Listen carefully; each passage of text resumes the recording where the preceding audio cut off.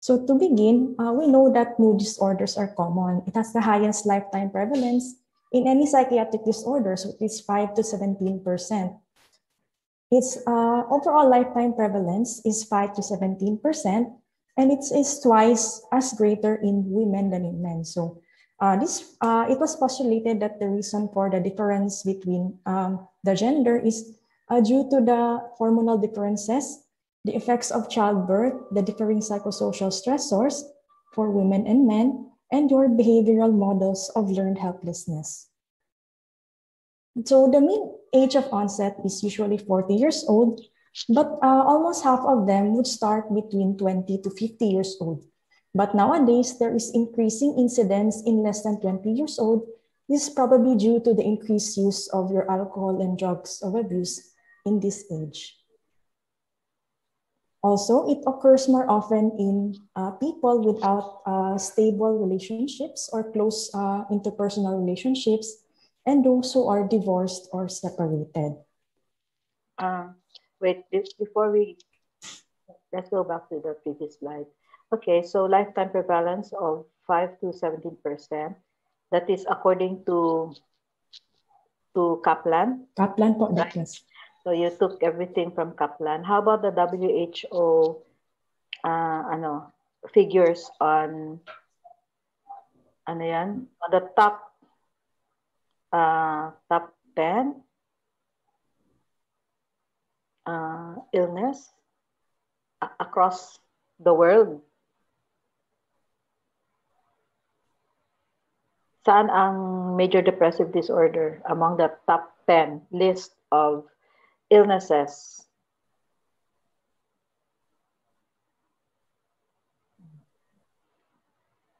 Uh, Kate? Yes, Doc. Uh, I haven't read, sorry, Doc. I haven't uh, okay. checked for the WHO uh, po, Doc. Ah, sige, mm-hmm. okay. Please check that. Uh, yes pa, Doc. I, parang sa, ano ko, is, is the fourth. It's the top four. I don't know kung nag-change na ha. Na, I will check so, Doc, yes. Uh, so do not, uh, ang advice ko sa inyong tatlo, if I ask questions tapos hindi nyo alam, yan na lang. So don't, don't, don't, don't attempt to search for the answer. Kasi it's, it's a waste of time. So, so you check kung tama pa ba yung top, top four na M, MDD. Tapos, uh, you mentioned that women is more at risk than men. You mentioned That's about hormonal changes in women. What was the other one? Uh, psycho differing psychosocial stressors doc, for men and women. Okay. okay. How about for Philippine culture? For Philippines, doc? Oo. You don't know or you are I, searching. I haven't learned, Doc. I haven't. Sorry for that. Okay, uh, so uh, you, you think about the uh, how how do Filipinos treat women in this country? Kasi iba-iba man cultures, iba-iba ang ano. Like for example, now we are oh, of course the yung biologic uh, vulnerability of women like giving birth, uh, hindi naman kaya ng mga lalaki, but other cultural factors that add stress to women like uh, ano yung difference ng working women as against working men?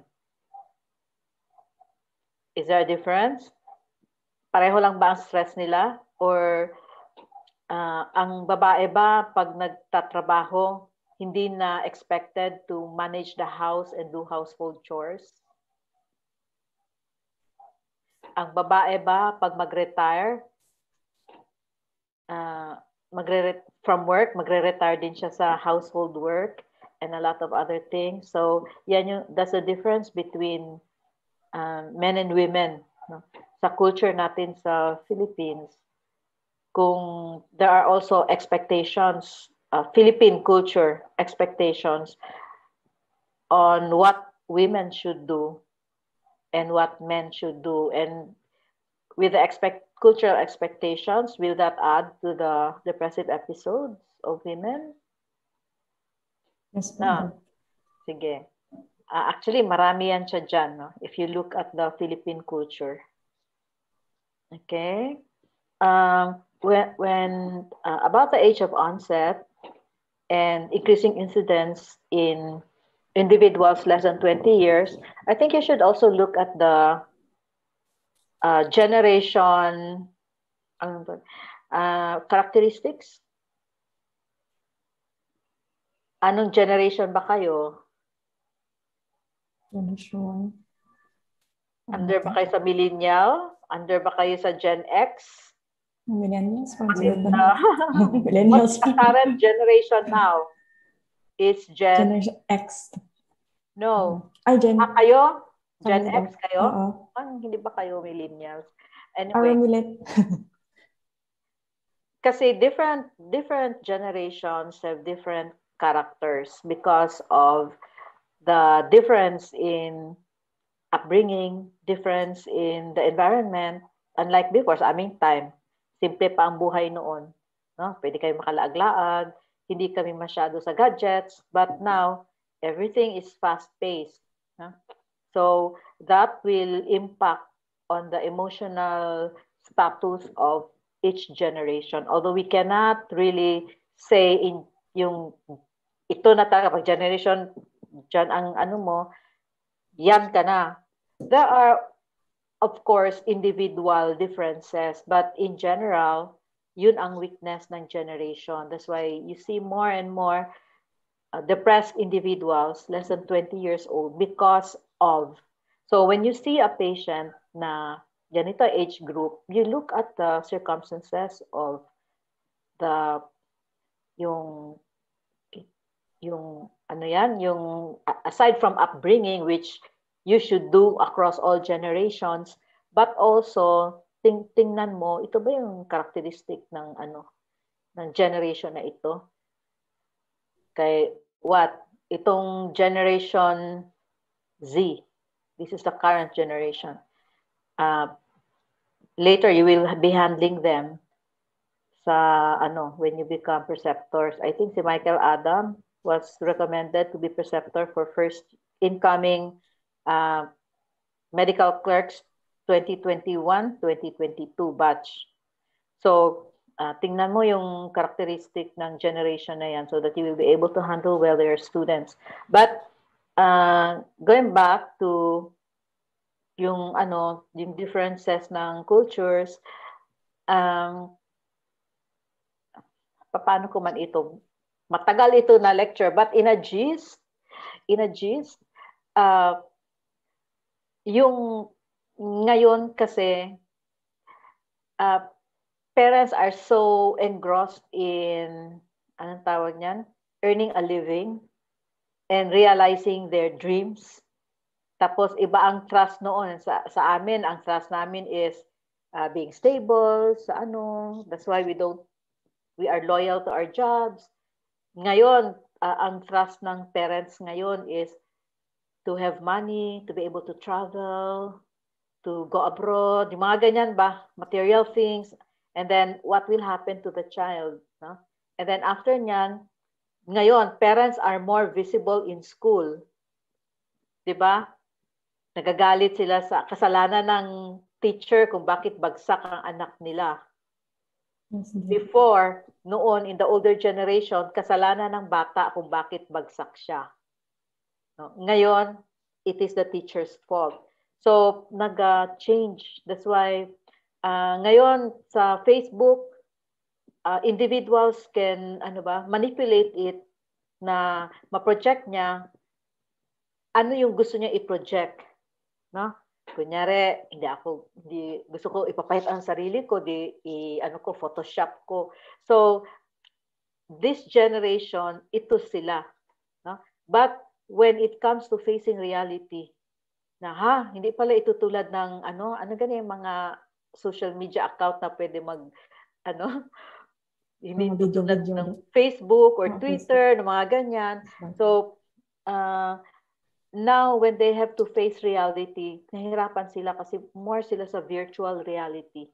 That's the reason why uh, more and more in, uh, individuals, Gen, uh, from starting from millennials up to Gen Z, hirap. And then uh, the interpersonal relationship, more and more individuals now in this generation opt to have online love life. Yung mga ganyan. Dati hindi sa mga karaan, mga penpal-penpal lang, mga ganyan. Pero ngayon, boyfriend na sa online. And they fall in love without even seeing in person yung kanilang karelasyon. So, so these are the, the things that are, uh, you should really think about when looking at depressed uh, individuals less than 20 years old. No? So, oo, nice to look at uh, you should, of course, memorize by heart the book, but you should also add more information, yung mga current na mga ano. Okay, so, oh, by the way, uh, divorced and separated, uh, how about yung mga namatayan ng spouse? Yes po, Dok. Uh, also, a stressor po siya, Dok, na makakos okay. ng depression. Oo, so, uh, divorced, separated, and ano, widowed or na, na ano na. So this, mm. do not forget to include that kasi it's very common. Yes, Doc. So thank you, Doc. So uh, this table just shows you the lifetime prevalence rate of your uh, depressive disorder. So again, as I mentioned earlier, the for MDD, the lifetime prevalence is 5 to 17, but the average is 12%. For your dysthymic disorder, average of 5%. For your minor depressive, 10%. And your, your recurrent brief depressive uh, disorder at 16%. So for the comorbid, so usually uh, individuals with your major mood disorders are also at an increased risk of having more uh, additional comorbid uh, disorders. So most common sa men is your substance use disorder. Example of this is your alcohol abuse or dependence. While for women, um, most common is your anxiety and eating disorders. So usually your comorbid substance use and your anxiety would worsen the prognosis of uh, the illness and also your increased uh, risk of suicide. Other common comorbids would include your panic disorder, your obsessive compulsive disorder also. Okay, uh, about the substance use disorder, when you see a patient with comorbidities of substance use, whatever substance it, it is, you have to answer to yourself. It, it, did the depression come first or was the depression triggered by the substance use disorder? Like for example, in alcohol, why do you think that the alcohol's side effect is depression. When you look at the neurotransmitter system and effect of alcohol on the neurotransmitters, it would cause uh, depressed activity for doc in the brain. What is the action of alcohol on the brain? Okay, so mm-hmm. these are the these are the questions that you, you really need to answer, especially when you see uh, a patient with comorbidities. Sino ang nauna sa kanila? Is, is the alcohol use or amphetamine use a self-medication for depression, for the feelings of depression? Gusto nila makalimutan ang kanilang mga problema or mga ano, that's why umiinom. Or umiinom talaga sila, okay lang, tapos later on sa katagal ng inom nila nagkaroon na sila ng depression so uh, when you see these kinds of patients yan yung dapat i-assess ninyo kasi if, if that is the case then the primary problem is alcohol abuse. Tapos secondary is depression. Kasi siya yung ano so uh, yung trust noon is to deal with the addiction and also the primarily and then the depression. Because sometimes kung mawala na yung source ng nag-trigger ng depre- ng depression then okay lang. But if it's depression first, then deal with the depression and the patient will be able to deal well in stopping the abuse. So ganyan yan siya ha. Uh, it's the same as eating disorder among women. Na? Eating disorder among women. Uh, yung anxiety, ano ba yung nauna, anxiety or depression? Because sometimes anxiety patients, they become depressed kasi bakit man siya magpalpitate, bakit man siya maganyan, ano ba nangyayari sa kanya, and then they, they get depressed. Na, so, uh, by and large, ang sinasabi ko, you check kung may comorbidities in general, sino ang nauna. Like in OCD, magalit na siya sa sarili niya kasi hindi niya ma-stop yung kanyang mga OC thoughts at saka yung impulsivity niya, yung mga uh, compulsions niya. Sorry for the term impulsivity, hindi.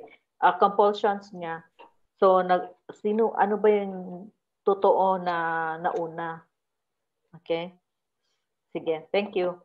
Uh, you need to ask me questions kasi after this ano topic is done, I will assume that you know na Huh? So Michael and uh, Mekong, you ask questions also, huh? Okay. Okay. Uh, Kate? Yes, Doc. Uh, so thank you, Doc. So uh, moving on, we now go to the neurotransmitters and um, that are important in our mood disorder. So uh, the three most important uh, for MDD is your serotonin, norepinephrine, and dopamine. So usually, uh, during MDD, their levels are uh, decreased. Hence, you would have your lack of positive messages, leading to your low spirits and lack of energy. For uh, two, there are also two um, associated neurotransmitters. These are your acetylcholine and also GABA. So um, I will be, so this is from a article, doc, uh, the relationships of neurotransmitters to the symptoms of MDD. So uh, in here, uh, it may be possible to assign your specific symptoms of your depression to your specific uh, neurochemical mechanism. So uh, the importance of this is that if we know uh, a particular symptom of depression, it may help us prescribe treatments that target your specific, um, that targets the specific mechanisms that uh, in turn target the specific uh, depression symptoms. So um, generally increasing any of these uh, neurotransmitters, your dopamine, norepinephrine, and serotonin will elevate your mood, but also there are other elements of depression that may be particularly responsive to certain neurotransmitters. So uh, example, norepinephrine, this is responsible for our alertness and energy, so if it is decreased, so our effect, I would have loss of energy and alertness. For the dopamine, this is responsible for our uh, motivation, pleasure, and reward. So if it is decreased, uh, there are also some patients who would present with decreased motivation, uh, decrease in your uh, pleasure or reward. And for our serotonin, so this is uh, responsible for the obsessions and compulsions. So um, to further... Uh, can we go back? Yes, Because you did not explain anxiety. It uh, can be caused by your norepinephrine and serotonin. So, so, so if, if, uh, if norepinephrine and serotonin causes anxiety, why do we have to give SNRI? Di maglala yes. ang anxiety?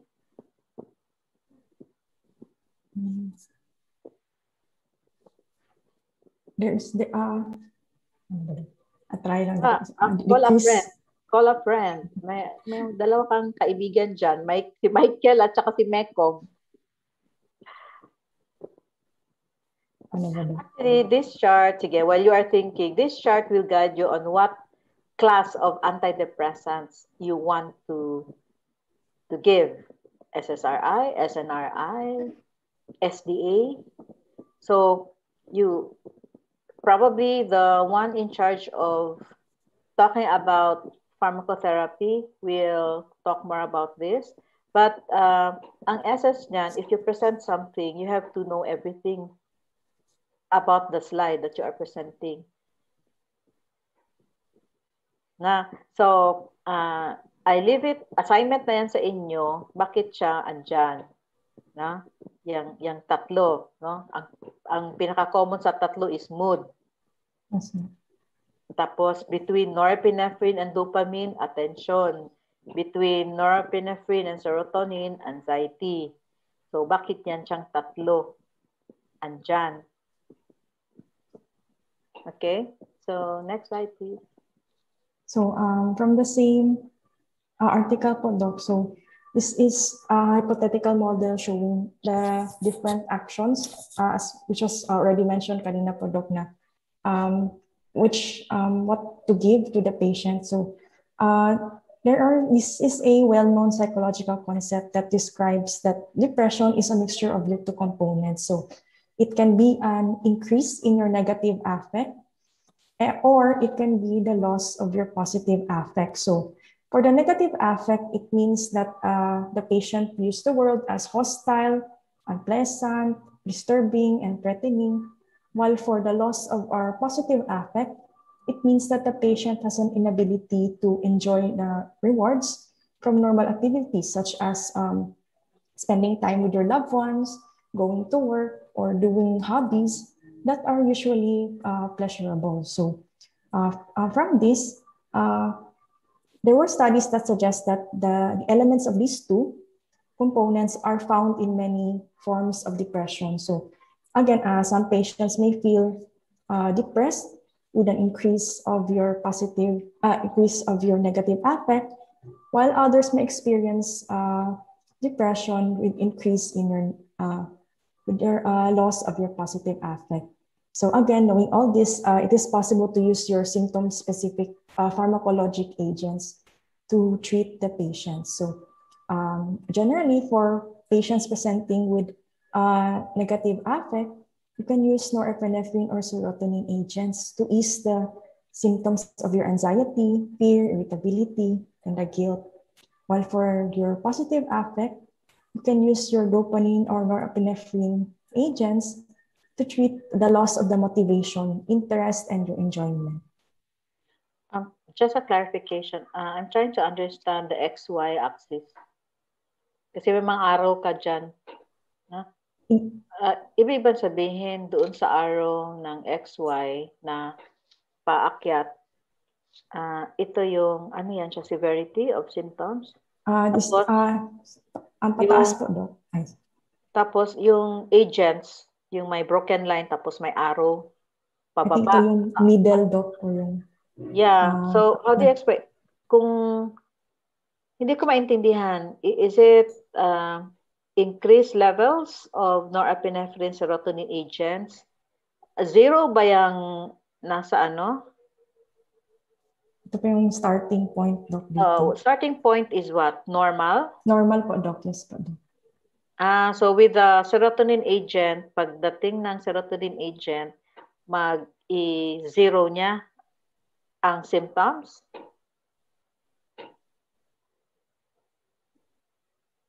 Yan,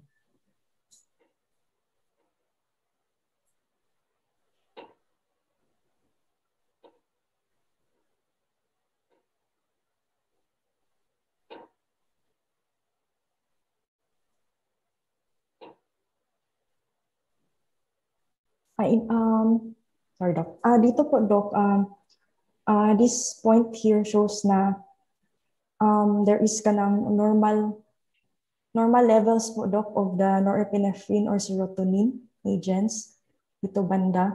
While, so while naga sa x-axis, Doc, nagka-decrease po yung norepinephrine or serotonin, which is, which is why we present with the depression and anxiety.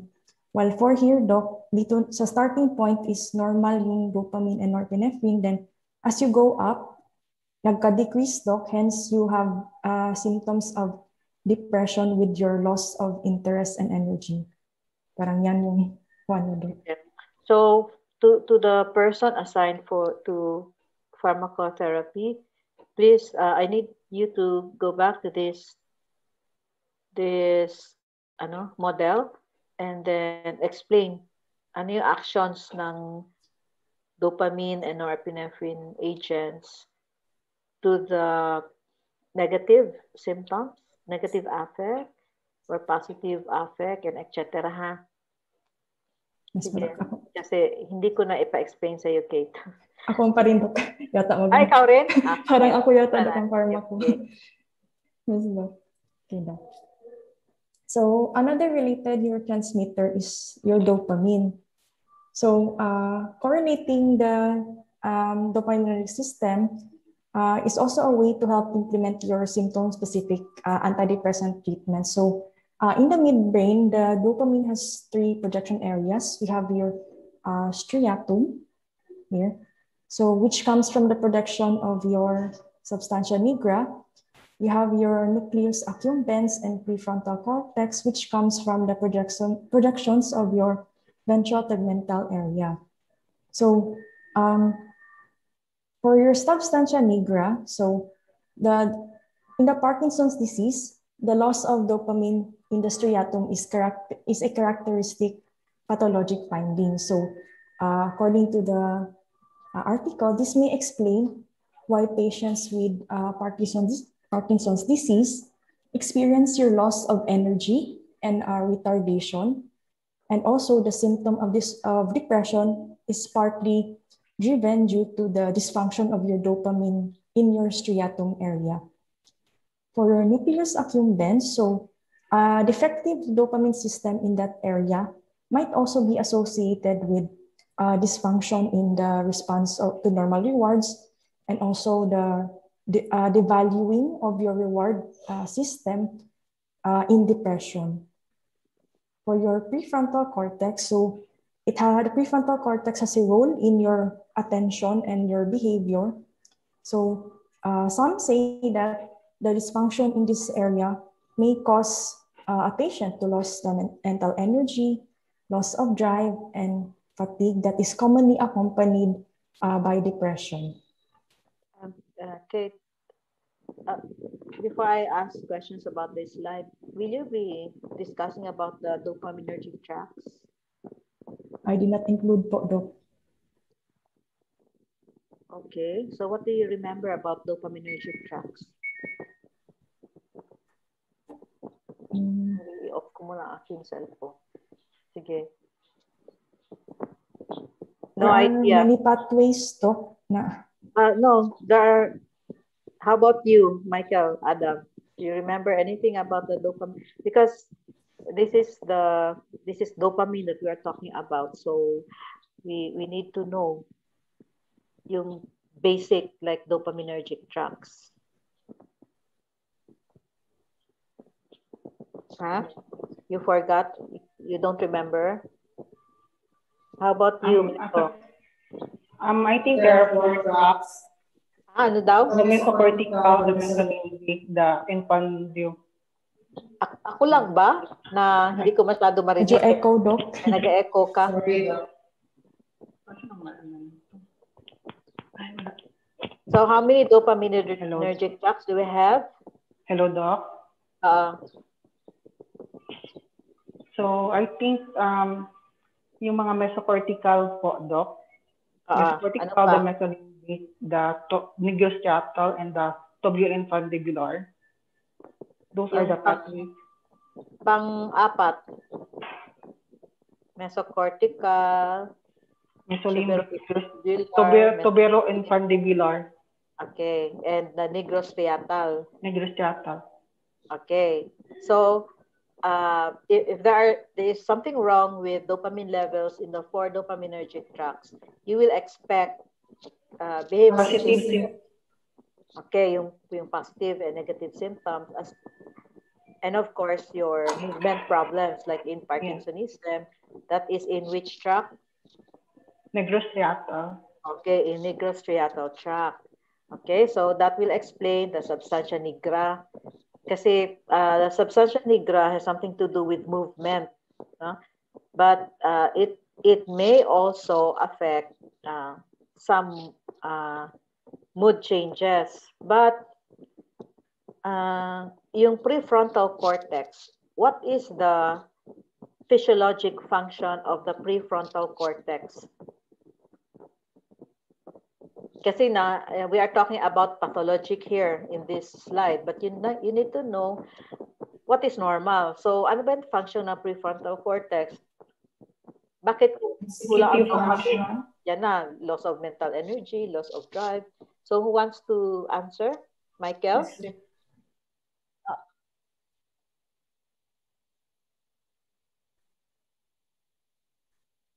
Okay, what else? Executive functions po. Sino daw? Mike, uh, Mekong, ayusin mo daw yung echo na iyong. Para kang naga-minus one. okay. So, okay. Ay, salamat. Sige, ano? Um, executive functions po. Ah, okay. Pwede na rin. Anyway, nasa frontal cortex man siya. So, the, uh, prefrontal, uh, ganito, assignment ko na lang sa inyo. Uh, 'di ba? Sabi natin uh, saan man yung seat of emotions.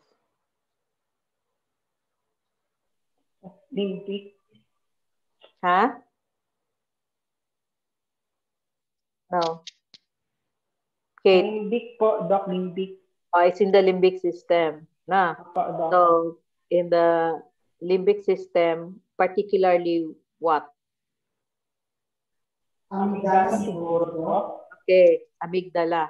So, may mga pathways yan before the patient will will ano will have behavioral manifestations like depression and ano. So, the prefrontal cortex has something to do with uh, ano ba? Para siyang highway ng ano ng communication system ng brain, no? Uh, hypothalamus, thalamus, yung mga ganyan. And then, uh, when the message about uh, ano yung gustong iparating ng amygdala goes to the prefrontal cortex, uh, the prefrontal cortex now, anong mangyari?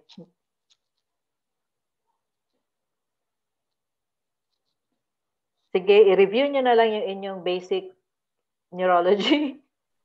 Kaya it has something to do with uh, interpretation, with with ano ba um, planning on what to do, yung mga ganyan. So, uh, isa is uh, hindi kayo mawala pagdating dito sa itong slide na ito kung alam nyo memorize by heart yung basic basic na ano yung yung normal pathways that is why pagdating sa ano sa treatment the psychotherapy is targeted at the level of understanding of the patient. Ito na yung mga naintindihan niya sa sitwasyon, ano ba yung ganyan-ganyan. And we are actually targeting the prefrontal cortex or sa frontal cortex to change the way the person sees things. So this is the biologic explanation of why we do uh, psychotherapy. Huh? Pharmacotherapy, we target the neurotransmitter systems. If you are using dopamine, then we target dopaminergic tracts. Huh? So ganyan ha. This uh, when you look at things, you tingnan mo yung sub, tingnan niyo yung kabuuan, no? Ito yung ito yung basic, ito yung ito yung pathologic, ito yung normal, ito yung pathologic, mode of treatment, ano yung target niya. Okay? Sige, continue. You, Doc. So uh, now we go to the alterations of our hormonal regulations. So um, there are lasting alterations in your neuroendocrine and your behavioral response, uh, which is due to your uh, history of early trauma. So it was associated with your increase in HPA activity. So uh, what happens when you are stressed? So in the HPA axis, uh, you release your corticotropin releasing hormone from the hypothalamus in response to uh, the perception of psychological stress by your uh, cortical brain. Uh, in turn, this hormone uh, induces the secretion from the pituitary corticotropin or the ACTH, which in turn then stimulates your um, adrenal cortex to release cortisol in your plasma. So overall, the general effect of your increased HPA activity is hyper uh, cortico, cortisolemia. Sorry. So um, what are um, what are the effects of your increase in your cortisol. So uh, you have your decrease in your inhibitory serotonin, increased drive from norepinephrine, acetylcholine, or your corticotropin releasing hormone. And also you have your decreased feedback inhibition from your hippocampus. So decrease. So um, there were, uh, in a study that it was shown that um, women uh, that physiologic response to stress is partly gender specific. So for women, uh, they show generally greater stress responsiveness in men, which is also consistent with why um, there is twice uh, twice uh, incidence of MDD in women. So uh, moreover, uh, men also show greater cortisol responses to achievement challenges, so more on so work, sa school. While for women, uh, they show greater cortical, cortisol responses to your social reduction challenges. So more on sa uh, relationships. So dira sila mas mas stress compared to the men. Uh, okay, so I, I think uh, this is general. Na? Uh, cortisol, uh, specifically what? Glucocorticoids. Glucocorticoids. Well, ano man. If we talk of adrenal, ano yun? Kasi yung cortisol is a little, if you look at the biochemistry of the HPA axis, we don't stop at cortisol lang. Kasi uh, cortisol is the mother compound of blank and blank. Hmm.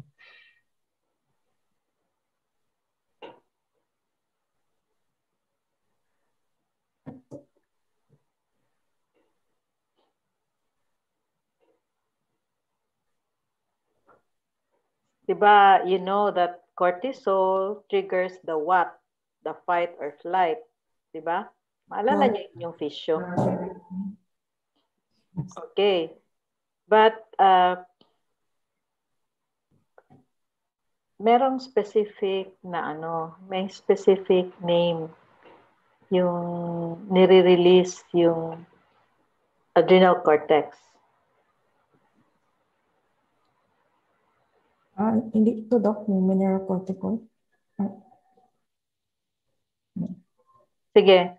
Um, where is where where is um, norepinephrine, epinephrine? Noradrenaline, adrenaline. Saan siya galing? Ang norepinephrine, ang adrenal cord, ang ano? Saan siya galing? Ang From the pituitary. Ah, ang adrenal corticotropic adrenaline at saka ano, adrenaline at saka noradrenaline.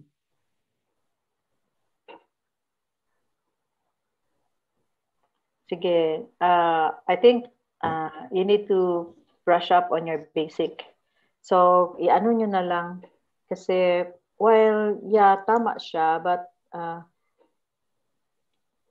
this will explain, hala, parang na, hello? Parang nawala kayo. What did I do? Wait ha. Gusto ko kasing makita masyado yung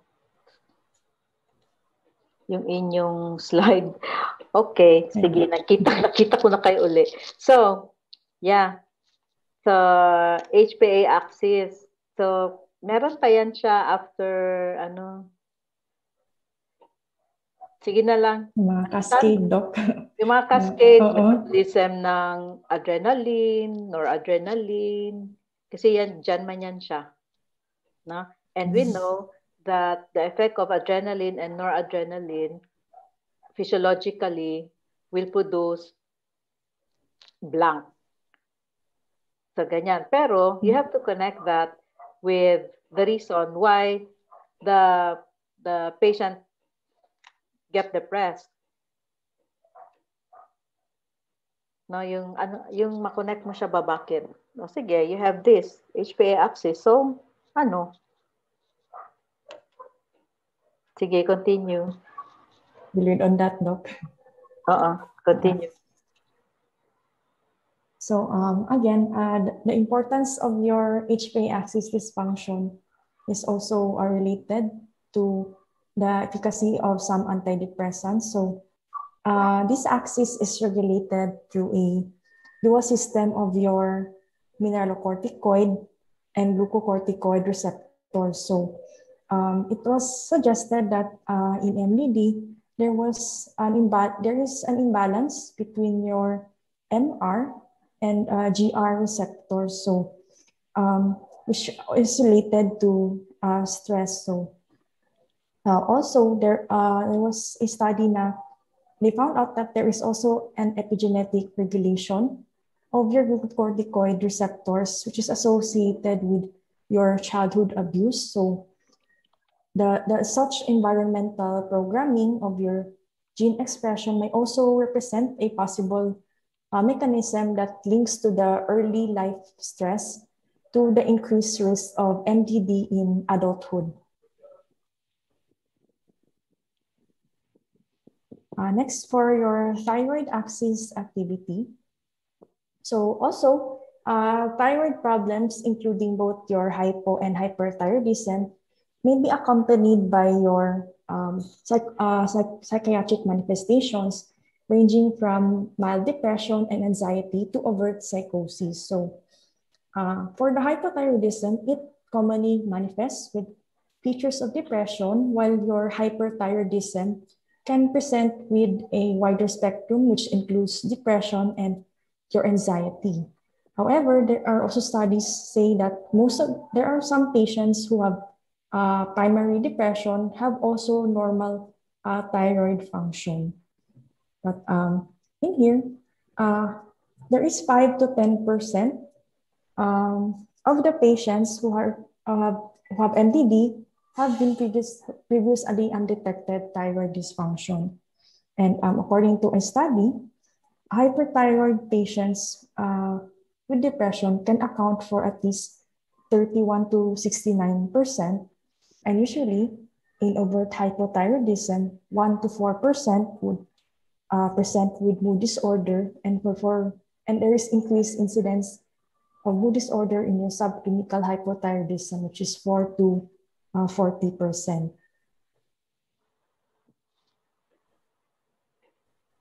So for the mechanisms for your sleep alteration, so um, sleep alterations are common in patients with MDD and it is also part of the diagnostic criteria for your uh, MDD. So Usually, patients with uh, depression frequently demonstrate kind of difficulty in initiating sleep. Uh, they also have frequent, frequent awakenings during the night and uh, earlier than desired awakenings and near non-restorative sleep.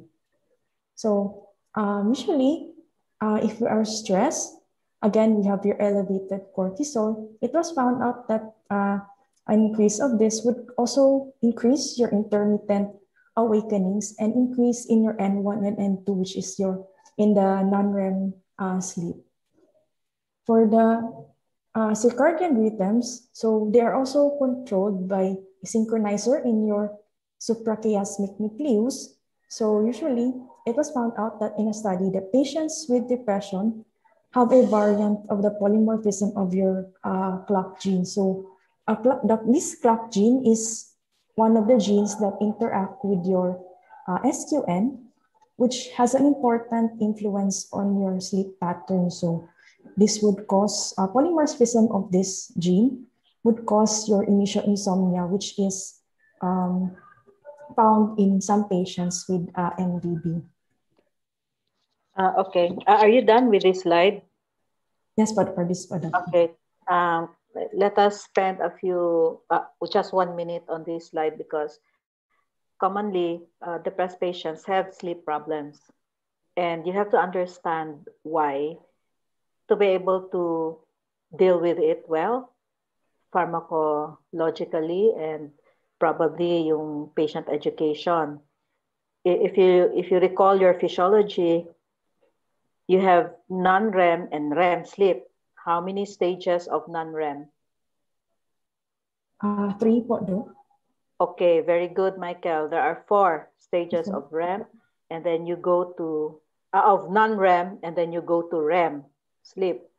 So there's latency period from non-REM to REM, no? Of how many minutes? Sobra na, no? Ang latency, yeah.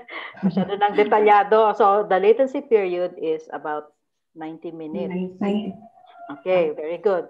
90 minutes. So, uh, in each stage of non-REM sleep, meron yan siyang mga changes. No? And the, the, if the patient, kasi common man yan, magreklamo, Dok, di, lagi, di lagi ko katulog, unya, ako an kaayo, kanang, anong tawag yan, pagod pa rin ako pag gising ko. It has something to do with the latency period between non-REM papuntang REM sleep. Moingon, naghagok magani ka, ingon sa mga ano, but masyadong mababaw ang sleep. It has something to do with the transition from non-REM to REM sleep. So when we talk of sleep disturbance in depressed patients, mas maraming uh, transitions kasi nag-ikli yung ano niya, yung transition from non-REM to REM sleep. Huh? So N1, I think, is uh, non-REM stage 1, yes. and 2 is non-REM stage 2. No? So it has something to do with falling asleep. Tapos, Doc, ng mga dreams ko, ana-ana-ana, it has something to do with early awakening at uh, non-REM stage 4. So, ibig sabihin, nag-interrupt talaga ang sleep niya. So, uh, go back to your normal physiology of sleep so that you can actually understand better. Gusto mo bang ipa-deepen ang sleep ng patient? So what will you give? What antidepressant will you give? Para hindi ka maraming medication na binibigay. Ha? Or the patient, parang sige lang gusto katulog, sige katulog. So what antidepressant will you give? Or the patient complains of mababaw lang ano yan, tulog manok. So what antidepressant will you give? Kasi if we give uh, anxiolytic, we can while waiting for the effect of the, your antidepressants. But uh, mas better na lang kung at the start, ma-deal mo na siya. That's why in MSC of your depressed patient, you ask about the quality of sleep. No? Hindi lang naglisod kog tulog. So you have to dissect anong klaseng tulog meron siya to be able to decide which uh, what medications to give. So I'm not really comfortable with elevate yung cortisol kasi generic.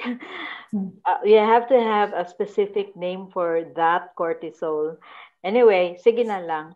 So, yan siya. So, circadian rhythms has something to do with the stages of sleep.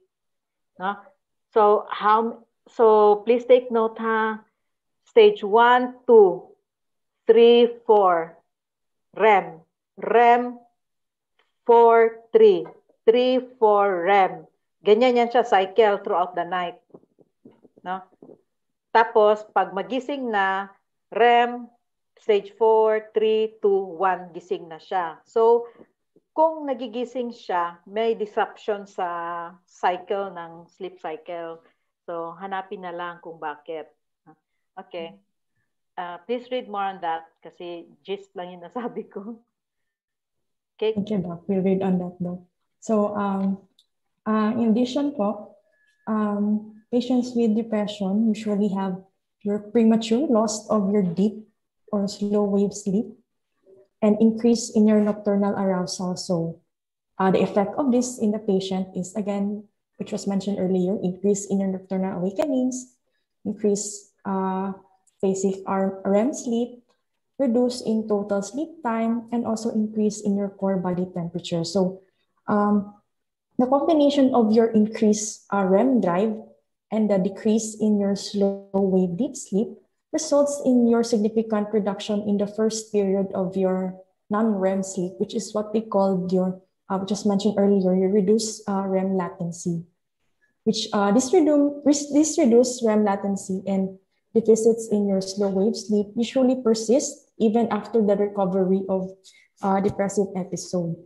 So uh, the increased REM density also, uh, which uh, it means now there is increase in the eye movements per minute during your REM sleep, is uh, this is responsible for the nightmares and your vivid dreams, which are usually experienced by some depressed patients.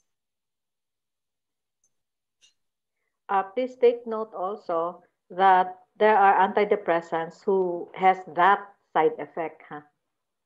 So when you hear a patient complain about vivid dreams, check side effect ba ito na antidepressant na binibigay nyo or anxiolytic na binibigay nyo or yan talaga ang sleep pattern niya before taking the medications. Sige, continue, Kate. Okay, Doc. So uh, let, now let's go to the genetic factors. So uh, family, twin, and adoption studies provide your solid and consistent evidence that indeed MDD is a familial disorder.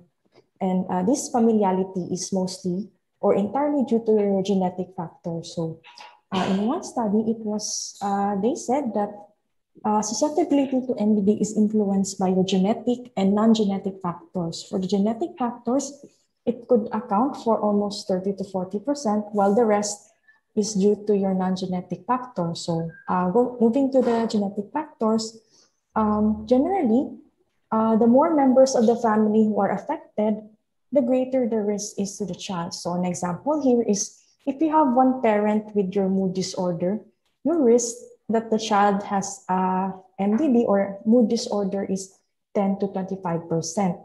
However, if both parents have mood disorder, it would be times two. So you have 20 to 50% risk for the child.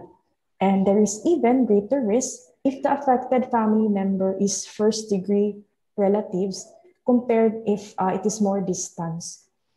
Also, your twin studies would show also um, genetic, uh, genetic factors are related to uh, mood disorder. So it was found out that uh, if you have monozygotic twins, the risk of both of them getting mood disorder is at least 70 to 90% compared it to your uh, same-sex dizygotic twins which is only 16 to 35% concordance rate. Uh, is that all in that slide, Kate? Yes, madam. Natingnan ko ang time, 8.38 na. Uh, why is that important for us to know? For the family family history po, Doc, of uh, MDD. Yeah, but why? When uh, In terms of management? Um, Doc, this is Neko.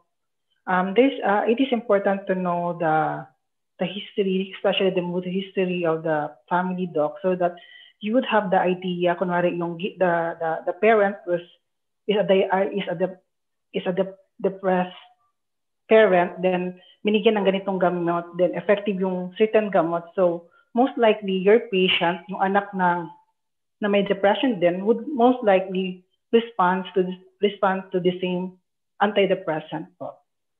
Okay, so what you're talking about is pharmacogenetics, no? Na ganito, ganyan. But, uh, okay, sige, I will consider that. Ano pa?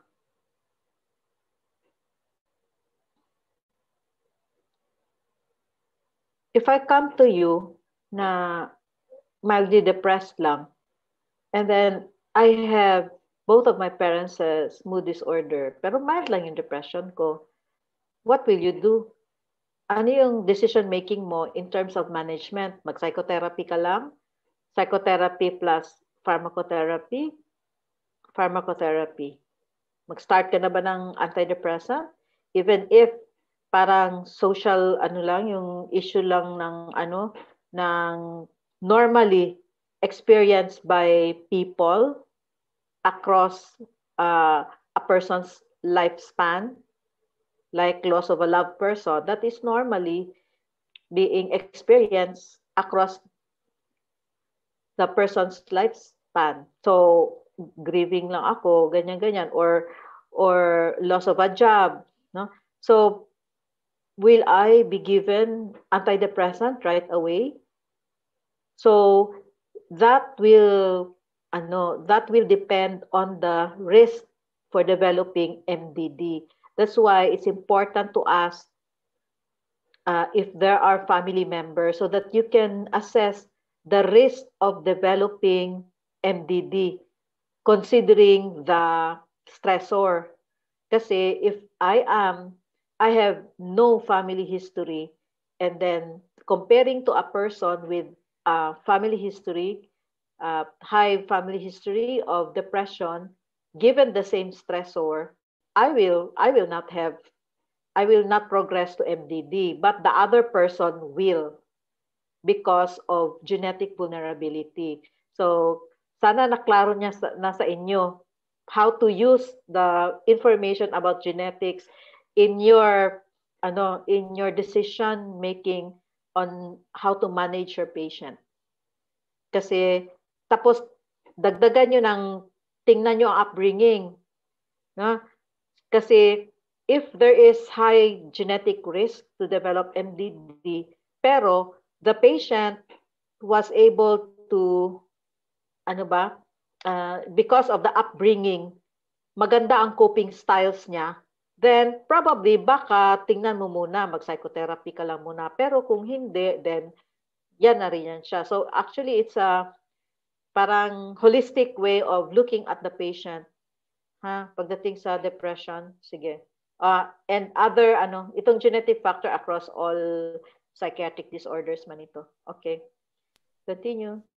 Okay. So last topic, we have our psychosocial factors. So um, as mentioned earlier, stressful life events uh, often precede first, then your episodes of mood disorders. So this is uh, that's why it is important that uh, we ask know what is the trigger for the patients having uh, frequent episodes of depression.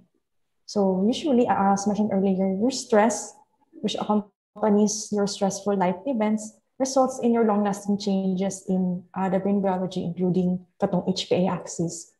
So uh, due to this, due to the long-lasting effects of uh, chronic stress, uh, some patients have a higher risk of undergoing subsequent episodes of your mood disorder even without an external stressor. So more on uh, internal ang trigger na niya karon. So uh, the most associated life event in depression is again losing a parent before 11 years old, while their environmental stressor most associated with depression is your loss of spouse. And also, it was found out that unemployed persons have uh, thrice more likely to develop um, MDD. All right. Uh, and, ah, ano, saan ka na? Ah, ito yung last ah, slide ko, Doc. ah, sige, sige. Tapusin mo na lang. And ah, then let's go back to the, ano ba?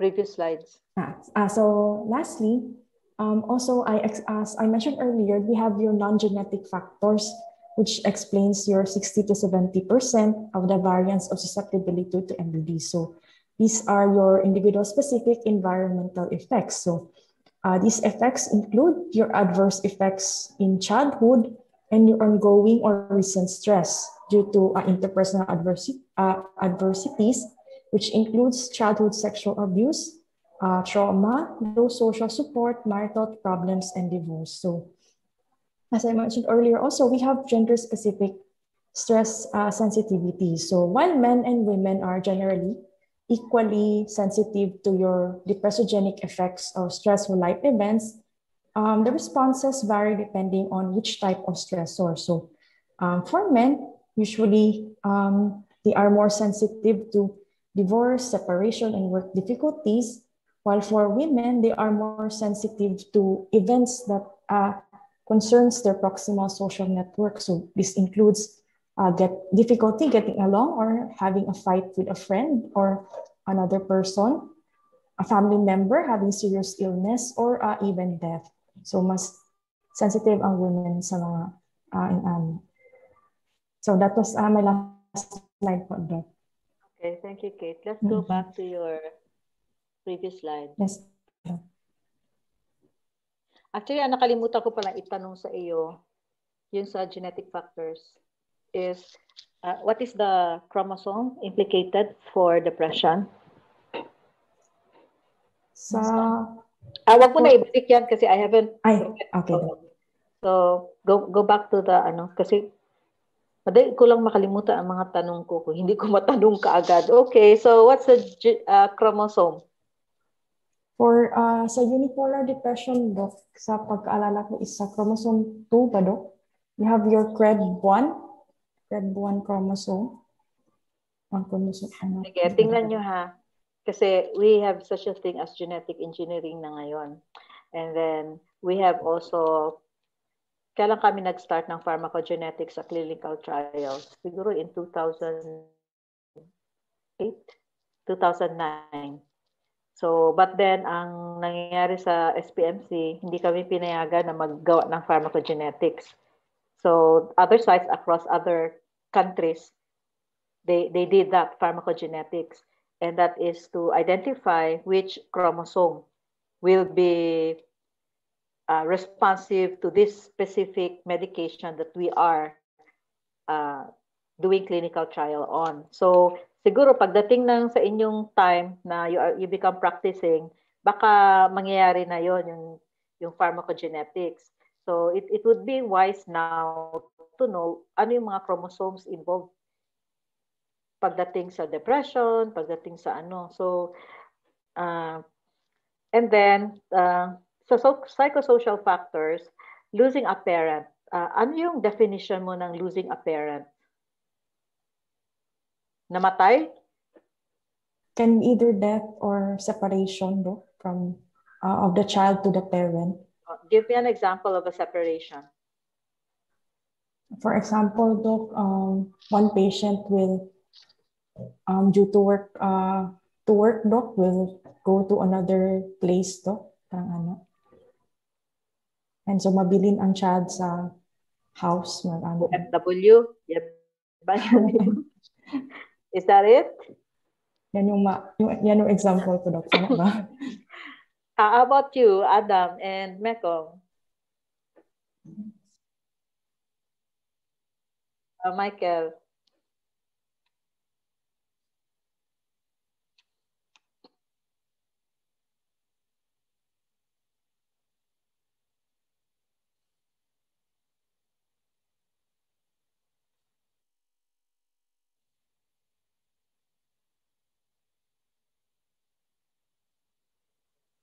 Okay, so one, uh, separation from one or both parents through yung divorce or annulment, tapos ipagkait ng isang parent na makita or makahalubilo ng bata yung isang parent. Okay? Uh, giving up for adoption yung child. Tapos, oh, ito. Kung inadopt ako, when I was still a baby. And then, and pagtiting ko ng 12 or 15 years old, saka ako sinabihan na adopted ako. Bakit ako nagka-depress? Dahil ba dito? Or ibang ibang ano yun siya, psychodynamic explanation?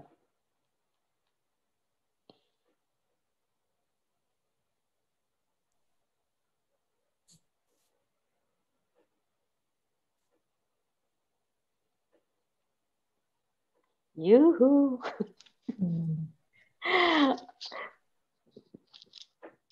okay, so yeah, uh, oo, ito yung ano kasi ikakaiba ang ang depression ng children when they find out that they are adopted. That's why it's it's advisable that as early as makaintindi yung bata, masabihan na siya that the bata is adopted so that hindi na siya ma-surprise.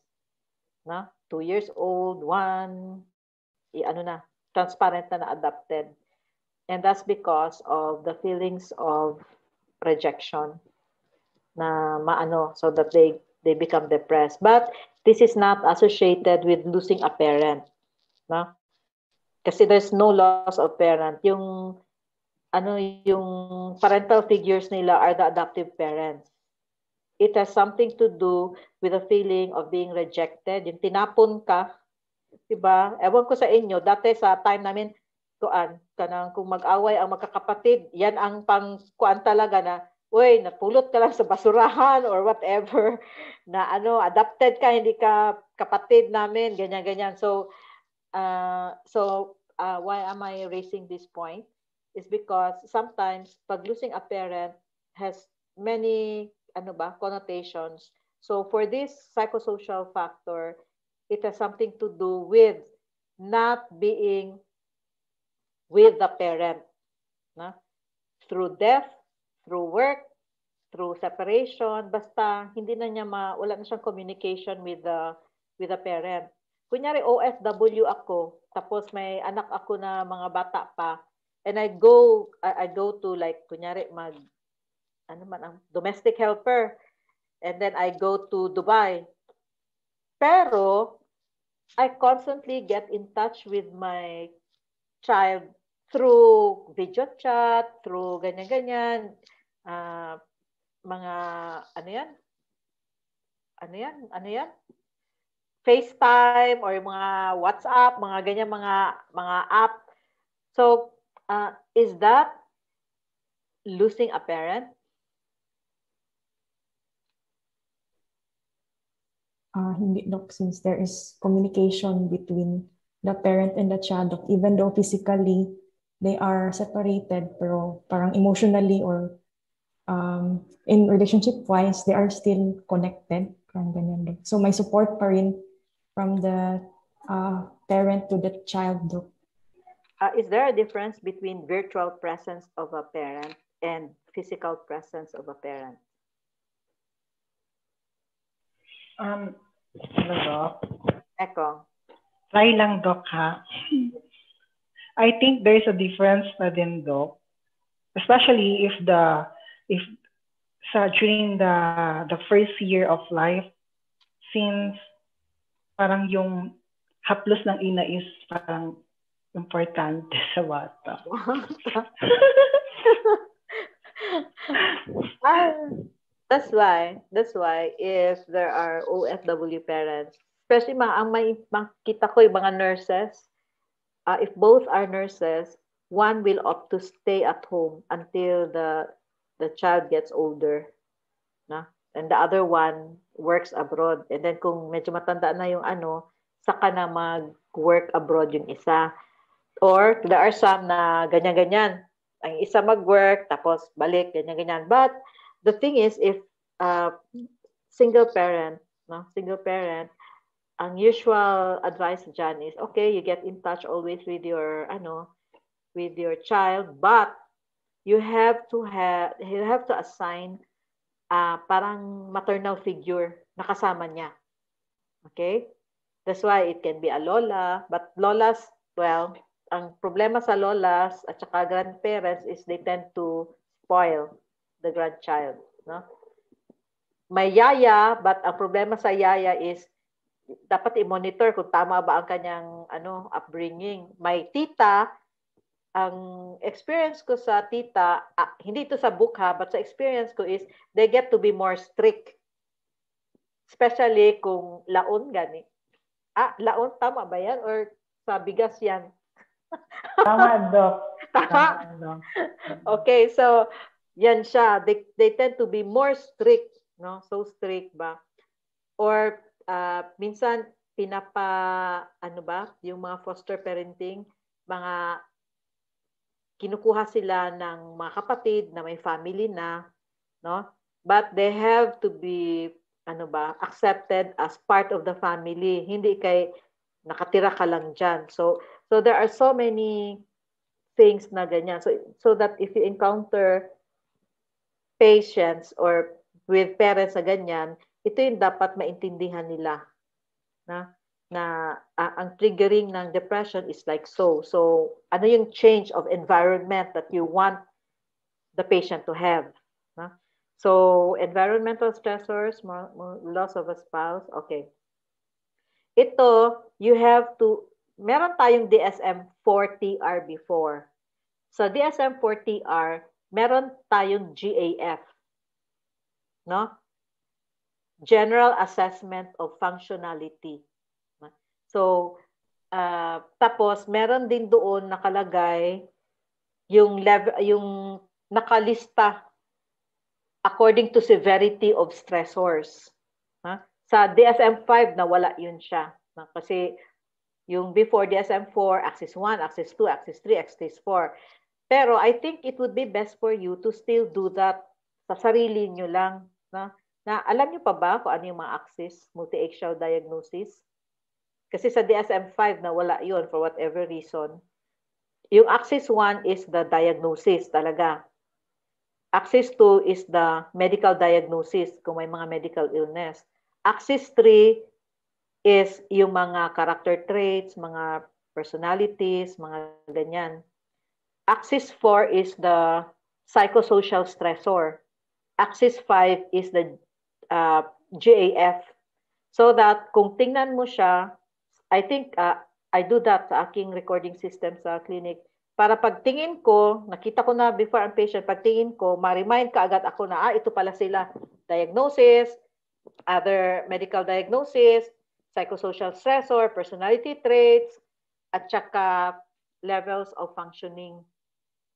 Para pag next, i, ano, nag-improve ang level of, so ganyan-ganyan. But uh, I hope you will still do that even if it's not required in DSM-5 para maklaro sa inyo ano ba talaga. So, uh, if you notice, yung lecture mo at saka yung mga lectures sa sunod, pina-follow yung multi-axial diagnosis. Hmm? So, uh, unemployment, okay, how will you deal with unemployment if you are already practicing psychiatrist? Pagkatapos, ang reklamo niya, wala na siyang pera, na-depress siya kasi wala siyang pera kasi unemployed. O, paano mo paano mo siya singilin? Will your professional fee add more to the depression yes, of your patient? okay, so that is a personal challenge. Kahit na ako, it's, it's always a personal challenge if I encounter patients that are unemployed. Okay lang sana kung ano, kung merong sponsor. No? Pero kung sabihan ka na nangutang siya para lang magpa-check up. No? And you know, long-term ang treatment ng MDD, no? it's, it's your personal decision na. No? Na, na to, well, bahala ka na sa diskarte mo about that. okay. Uh, next slide, please. Yes, madam. Ah, okay. Ito na ba yung last slide mo? Yes, doctor. Ah, okay. This is self-explanatory. Ah, this is self-explanatory. Actually, uh, there are many more stressors. No? Currently, you have bullying, which is the parang trend ngayon na source of stress as a child. No? Being bullied, tapos um, But uh, by and large, it depends now. When you see a patient na may ganyang mga past history, you have to assess yung impact niya. The, the, the impact of the event on the patient's psyche. Kasi malay mo, hindi pala siya, ano, hindi pala yan yung kanyang stressor kay, like, okay lang pala sa kanya. Like, for example, low social support tapos pag pagtingin mo sa kanya, maganda ang coping mechanism niya kay nag nag-seek siya ng employment tapos was even able to send support to the family. So yun tal yung tuloy ang naging motivation niya na to to excel in life, yung mga ganyan ba. So uh, while it can be a psychosocial stressor but it does not contribute to the depression of the patient. So, tingnan nyo na lang kung ano, marital problems, divorce, eh kung siya ang nag-initiate ng divorce, tapos, hay, salamat, naka-divorce na ko kay it's ma, uh, may chance na ako na may taglain. yung mga ganyan gani. So, uh, what what I'm what I'm saying is that uh, don't assume na if they have this, ito yung stressor nila, na i-ano talaga, i-explore talaga and hanapin ano yung totoong stressor. Na? So there are there are many stressors talaga, na? So psychosocial, ha? Psychosocial stressors. Uh, anything else? I think uh, I think ang hindi na mention dito when it comes to Philippine culture is yung yung I think oh bullying pero hindi ano naman yan but yung yung ganing tukso-tuksuhin even the parents magtukso-tukso na kay, lami kayo, cute daw tingnan kung nagaiyak ang bata o mga ganyan. Maano nyo yan? Yung paiyakin gani ang bata kasi cute. Tapos it's the parents mismo or relatives ang gumagawa yung tukso-tukso lang. So uh, you you look at that. It, it has something to do with uh, upbringing. Pero Filipino culture, no? Filipino culture. Yung trauma like uh, I think nakikita ko pa yan sa mall hanggang ngayon na ang bata, lipay kaayo, sige explore, tapos taguan. Oh, yes. Tapos paglingon, hala, nasaan na? Tapos iyak-iyak na yung bata. Tapos pag makita ko yung mga adults, sige katawa. Okay, don't you think that's a traumatic experience? Yes, Although katawaan lang, but yung impact noon sa bata. Na? Uh, what else? Wala na siguro. Wala na siguro. Marami ako maisip, no? Pero it has something to do with uh, problems of yung developmental. Like for example, yung normally mag-explore ang bata, di ba? Sa oral stage, i-ano niya sa bibig. Na? Ganyan. Pero ang ginawa ng ibang parents to to ano, parang hindi na magawa uli nung bata is lagyan ng sili Tama, Meko? Na-experience mo ba yan? Para pag ganyan ang bata, matagam siya, dili na siya mag-ano, hindi na siya maghawak-hawak tapos maglagay sa mouth niya. But if you look at the developmental stage of of that bata at that point in time, yung yung baby explores the environments and learns from the environment through the mouth. Huh? So kung i-discourage mo yan, ginastop mo ang ano ang learning yung intellectual development ng bata. At the same time you you also add ano trauma and stress. Baka ayaw na niya tuloy mag-explore. Matakot na siya mag-explore. Kaya baka kung ano yung consequence noon. So they don't like that. So actually uh, maraming maraming ano maraming i-explore. But when you see patients, don't forget to think of the cultural nuances ng Pilipino. Na, na laka, may aswang dyan, bantay ka, mga kainin ka, yung mga ganyan. That's why sometimes, kahit ngayon, may makita ako mga parents na, ala, sige, mag-ano ka, at tikag doktor, ka-injectionan ka. O, de, saan na? Diyan ang galing yung fear of going to the doctor. so, ganyan. So, yan. Basta don't forget to look at the Filipino culture, ha? Sige. And uh, one last thing. If the patient has been experiencing yung chronic depression without stressor, hindi na maintindihan bakit na-depress lang siya. As a child, andyan na, ma-feel na niya, pero okay lang, akala niya yun yung normal, hanggang sa adult na siya, then look at the genetics. Ha? look at the genetics and then look at the upbringing, how the patient was molded to see oneself. Huh? Yan siya, ha? Okay, so I'll see, kailan ang next, ano natin? Uh, first two weeks tayo, Doc, so may next week pa yata, uh, Doc? Uh, so next week, okay. Yes, so, na. Okay, okay. Any questions so far? Lana? Okay, so... Have a nice weekend, all of you. Thank you, Doc. Thank you, Doc. Female ward. Ah, Doc? Female ward. Okay. Okay, ako po, Doc. Ang, Ah, ikaw, kumusta na mga patients natin? Si ano lang, Doc, yung variantos na yung medyo bantayan natin, Doc. Yung mga nag, nag, nagpiting edema, ng piting edema. Ah, si Variant. Siya ba yung may ba- bibasal pneumonia? Opo, Doc. Ah, okay. Siya yung ginaplanuhan na mag-shift ng antibiotic. Yes, Doc, yung ceftriaxone po. Oh, ceftriaxone. Ang worry ko lang kasi doon, alam mo naman ang SPMC, ah, Opo. meron, wala, meron, wala. So we have to make sure na makomplete talaga niya. Otherwise, maglala siya. Tapos kung hindi niya ma-complete, magka-problema na naman tayo. Dapat mas higher generation na yung antibiotic kaya natikman na niya yung ceftriaxone. 'Di ba? Yun yung worry ko. Kaya nag-start muna ng medyo ano, broad spectrum man din ang Coamox. Opo, Doc. Tapos yung AZ. Ah, 'di ba dalawa yun siya?